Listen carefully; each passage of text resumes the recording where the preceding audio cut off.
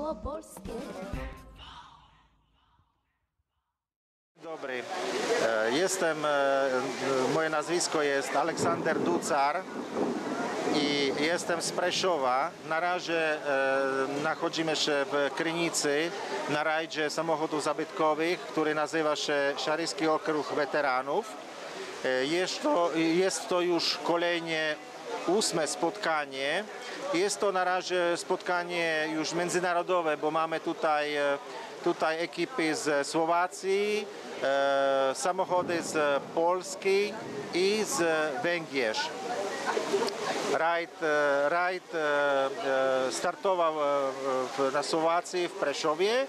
Przejeżdżał przez, przez Bardejowskie kąpieli, stąd przez Bardejów, e, Kurow e, i Tylicz e, do Krynicy, ale nie tak prosto, e, jak powiedziałem, ale po drogach, które, gdzie odbywały się różne próby, które są e, e, próbami wiadomości albo e, próbami, e, jak powiedzieć, e, e, e, znaczy e, próbami, które e, e, dla samochodów starych i nowszych nie są, nie, nie, nie są handicapami, to znaczy e, próby, e, próby e,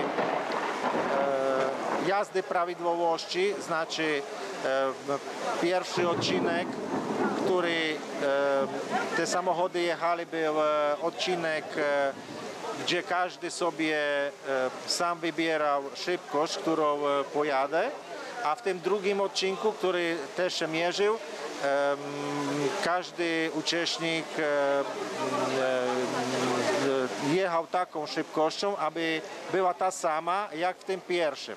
I te różnice między starymi i nowymi samochodami, oni się e, jakąś e, nie są tak e, widać i dlatego jest potem możliwe e, wybrać e, ekipy, które mają najmniej, e, najmniej złych punktów i wieczór dzisiaj my w hotelu Krynica zgłosimy wyniki te, tego rajdu i mm, jak powiedzieć, e, tak się bawimy z właścicielem e, starych zabytkowych samochodów.